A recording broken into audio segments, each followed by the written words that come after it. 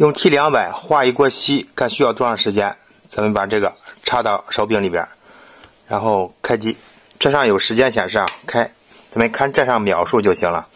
大家看屏幕中间显示的时间，然后左下角呢显示是功率。你看现在显示两百一十多瓦，它标称是一百六十瓦啊。你看它虚标了多少？反向虚标了近五十瓦。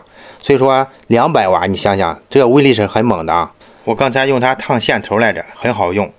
现在冒烟是因为我刚才这个蘸稀了，蘸完稀这热的，我把它刚烫完水，所以说它凉凉了之后这残留的水，咱们看一下多长时间能化开啊？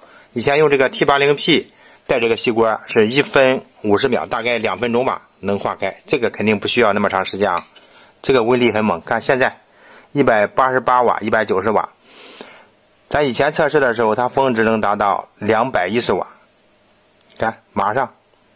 这这才四十四十八秒，这这已经冒出来一块了，看啊，马上就化了啊，五十，你看五十五，五十五秒，你看已经都化成这样了。现在一分钟，一分钟基本上都你看化了啊，完全化了，一锅稀都化开了，厉害吧？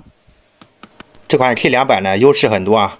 首先，它这个烙铁头啊。和市面上是通用的，然后它这个屏幕是 IPS 屏，二点四英寸的，然后呢，外壳是全铝合金的，做工非常精细，它可以匹配四款烙铁手柄，T 幺二、C 二四五、二幺零和 C 幺幺五都可以适配。我是今天来做这个线啊，烫线头，顺便给大家拍一下，我也想知道它的威力到底有多猛，确实挺猛。还有这个烙铁头，说给大家拍视频呢，也没时间拍啊，改天给大家拍。另外，在我橱窗里买过，包括 T 八零 P。然后 T 两百，还有 T 三百的，有需要这些烙铁头的，我可以告诉你我在哪儿买的啊。